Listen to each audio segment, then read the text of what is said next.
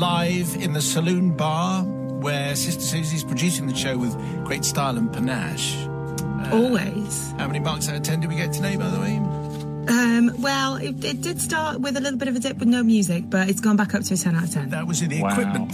Can't believe That was an brought that equipment up. That fault. was the kit failure. Unbelievable. That's what that was. What's our, what's our drink of the day? Well, I feel like it's getting a bit autumnal, isn't it? So maybe a maybe a half of a stout or a porter would Half be quite a stout. tasty. Okay, all right, okay. Ina Sharples. What's wrong with that? So, uh, Very trendy now. very trendy. Come on, Matt, Yeah. get with the groove. Very true. Today's confession comes from Mr. Chips. Uh, thank you, Mr. Chips. Signing the collective, my confession harks back to the mid 90s when I was a young and naive primary school teacher working in South London. The event that I need absolution for takes place on the dreaded school residential week, in which teachers reluctantly take students away to take part in various out of bound activities in the countryside. Hmm. Nowadays, most schools use purpose built sites where the children generally take part in their activities in one place or in the surrounding area. Not so for us in the 90s. At our school, we coordinated everything ourselves, from transport, activities through to accommodation. In the year in question, we planned to travel to the St Custard's Outdoor Education Centre, and we stayed at a local youth hostel, which we rented for the whole week. The week went pretty much as planned, as we, two male members and, of staff and two female colleagues, travelled down in two minibuses transporting 30 odd Year 6 children. By which I mean, obviously, there was just roughly 30 rather than 30 Okay. 6 children were Yeah, odd. yeah. To take part in various climbing, hiking activities mixed in with visits to local areas of interest. The day went smoothly and like clockwork. In the evening, though, we had to entertain the children ourselves, and this tended to involve lots of football matches or asking the kids to keep their dormitories tidy. What fun that must Wow. have been! Great days. The girls were staying in one single story building and the boys in another. We weren't totally lazy though, Father Simon, and did timetable in a few activities as entertainment for the children. For example, one night was disco night, which basically meant putting on a CD in the dining area, watching all the girls dance madly to Gina G in the middle of the room, Oh, yeah. whilst the boys stood Yes. uncomfortably on the edge of the stage, stuffing their faces with cheap crisps. Good. Ah, school discos. Don't Classic. you love them?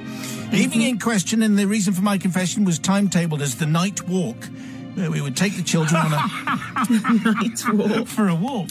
on a Right. torchlight ramble through lanes and fields so they would experience nature in the raw, something they tended not to get in Battersea. I had gone on a similar residential the year before, supporting a more experienced teacher, and at one point we had stopped, and by torchlight he'd told awestruck children a spooky story about the ghost of a fisherman, just to make the walk a little, little bit more memorable. Well, this year I was the senior teacher on the trip and I was determined to emulate the success of the previous year. At an allotted point in the walk, we stopped in a large, lonely, desolate field. I started my yarn and told them that this field had once been the site of an old Victorian prison and that locals said that ghoulish ghosts of former inmates still stalk the local area. Well, immediately you could feel the collective gulps and intakes of breath from my wide-eyed charges. I looked up and in the far corner of the field there seemed to be some neon posts glowing in the moonlight. Perfect, I thought. I asked the question, what do you think that is over there? Are they ghostly figures? Now the collective gasps turned into yelps. Look, I think that's Lord Granville, who was beheaded in 1652. and isn't that oh, crazy Sister Susan the Slayer? Sister Susan the Slayer. Yeah. Wow. I really that. should have left it there, but my overenthusiasm took hold. As oh, we trotted back to our accommodation, I found a twig and proceeded to tickle the neck of a few children, leading to shouts of, Oh my word, what was that? and such like from my young charges. As it was quite late, when uh, when we returned to the youth hostel, uh, everyone went straight to bed. Both sets of dormitories had about 20 odd separate beds, and the children were soon washing and brushing their teeth, supervised by my colleagues. Outside on the ground, I found a branch and ran it noisily down the featherboard panelling of both dormitories. I laughed as I heard the screams and shouts from inside. What fun, I thought! I have to tell you, I had a really good night's sleep and I awoke refreshed, only to be faced by the stony faces and tight lipped expressions of my female colleagues. What's up? I inquired innocently. Come here, was the sharp reply, and I was grabbed by the arm and frog marched to the girls' dormitory.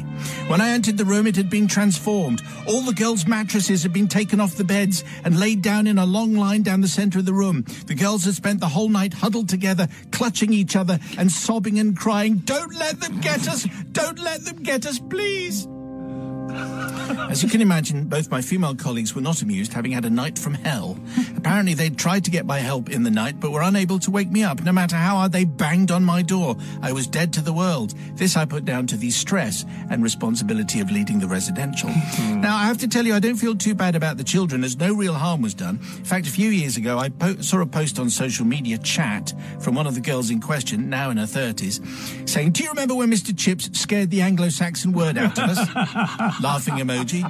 So, no, Father Simon, as a now experienced deputy head teacher in my 50s, I seek forgiveness for giving my colleagues such an awful time and the silliness of my actions. As you might say yourself, it was different times, and you would never get away with doing that now. I await my fate from the gathered collective. Well, Mr. Chips, it's a nice story and maybe puts us in mind of some Halloween confessions, maybe, which will be coming in. Uh, but some, some poor practice, I think. Sister Susie, what do you say?